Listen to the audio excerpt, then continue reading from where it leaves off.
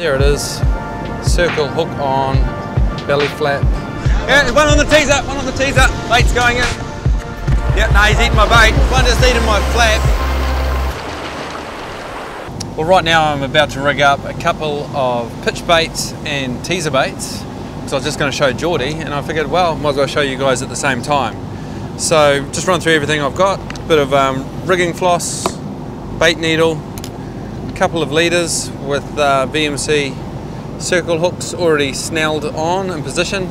You can see how I make these leaders up. There's a separate video on ultimatefishing.tv and I've got a couple of uh, soft lures, just the um, outers, no inner skirt, a couple of bits of uh, couple of bits of tube. So we've got the um, belly flap that we've cut out of our skipjack tuna and I've been soaking that in a very cold salty brine and we're going to start with that. So we go a full arm span of thread there, just um, we just half hitch that onto, onto the needle and this is the hardest bit of the lot is to push it through this hard bony bit right at the start.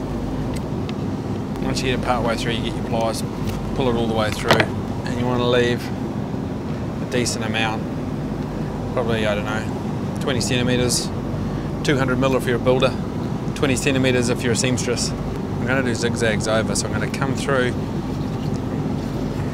I'm coming through from the same same side each time. Quite important to go in behind this hard bony bit, and then still going going in and out the same side. I'm just going back to form a cross.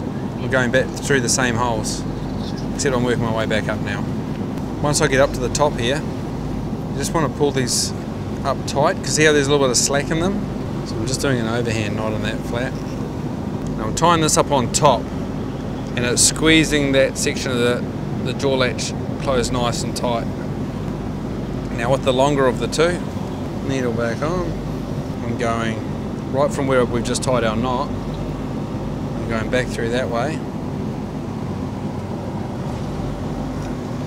Do another overhand knot. So you can see it's not real techo.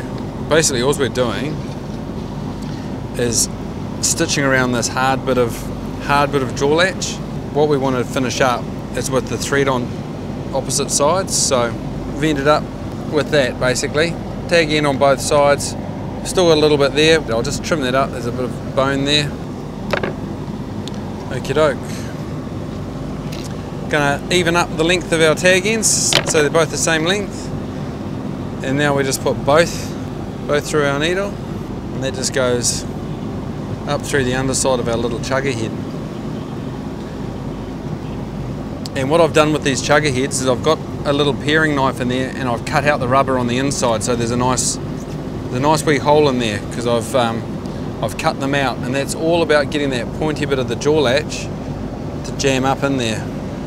So now that jams up in there and I can tell just by looking at that that there's too much bulk sticking out there.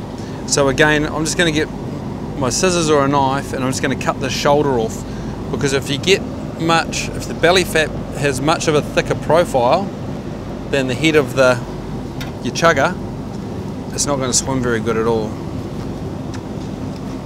Be careful not to cut your, cut any of your stitching.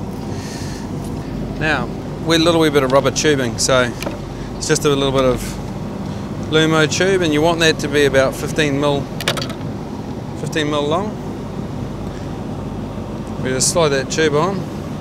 So we can, once we slide our tube on, we're ready to attach the hook. Now, that's almost ready to attach a hook and throw out, but you'll notice that the back is quite thick and chunky. Now that can cause it to, the bait to spin. We've got that little bit of anal fin in there. So what I do is I just cut either side of that bit of anal fin because it's quite weighty at the back and you want it to be quite light and streamlined at the back and more of your weight to be at the front of the belly flap.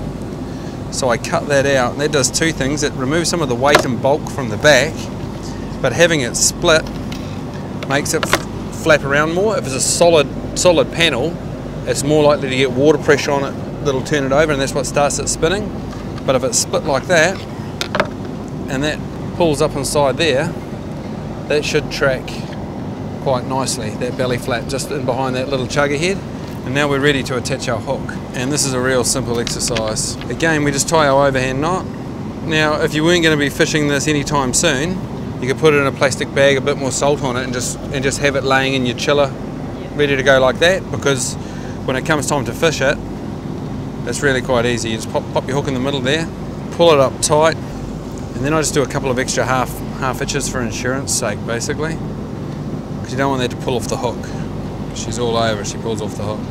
If we were going to be fishing that today, that'd be ready to go, but we're going to be putting it in our cooler to fish tomorrow. So I'm just going to put a little bit of extra salt on that, just rub it in. It just helps it sort of firm up so it doesn't fall to bits too much.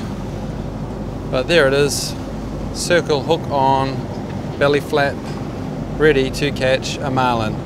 And that little bit of tube, what that does there is it just keeps the hook nice and free from the head so it can pivot and get the fish in the corner of the mouth and that there is good to go.